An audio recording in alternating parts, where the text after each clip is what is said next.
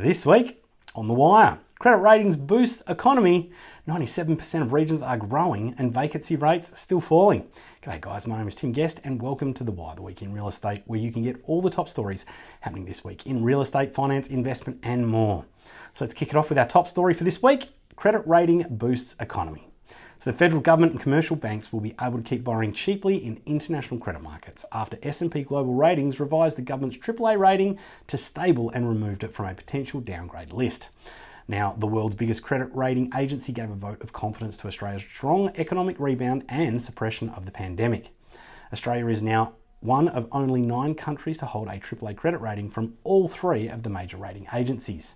Now, the S&P upgrade of Australia's sovereign AAA rating to stable from negative provides an opportunity for the nation to emerge from the, uh, from the pandemic, I should say, stronger than most. Now, after the sharpest economic contraction since the Great Depression, followed by the biggest fiscal, expansion in the nation's history, Australia is among uh, the world's most creditworthy nations. Now, guys, moving on to our next story. 97% of regions are growing. So, a handful of neighbourhoods have missed Australia's soaring house prices, with just 11 areas across the country recording price falls in recent months, most of them remote rural areas. Now, Australian median property value jumped 7% over the past three months, the latest CoreLogic figures show, with the biggest gains seen in Sydney at 9.3%, Darwin 7.9%, and Hobart 7.7%. But price, price growth, I should say, wasn't limited to cities, with an increase in property values recorded across 97% of the regions analysed by CoreLogic. And only 11 locations saw prices dip over the past three months, some of which recorded only a marginal fall after pre- previous rises. Now, CoreLogic's Eliza Owen says it's rare to see so many markets in an asynchronized upswing. She says the few markets that have seen a fall in dwelling values in the three months to May are in more remote locations across regional Australia.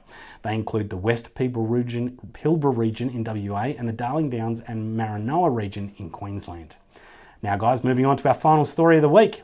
Vacancy rates still falling. So renters in Australia's biggest cities could find it hard to get a good deal with the number of empty properties falling, but some neighbourhoods still offer tenants more choice. Now, fewer than two in every 100 rental properties, that's only 1.7% nationwide, are empty, and that's the latest data from uh, Domain shows. But vacancy rates are higher in Sydney and Melbourne. Now, vacancy rates in all the capital cities fell or held steady last month, says domain analyst Nicola Powell, with extraordinary tight conditions in the smaller capitals making it harder for tenants to secure a good deal and pushing the national vacancy rate to the lowest level since February 2020.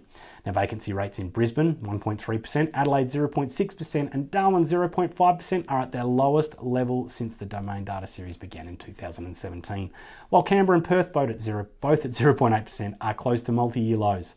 Now, tenants Melbourne and Sydney have a greater choice when it comes to finding a rental, with 3.8% and 2.7% of properties left vacant in May.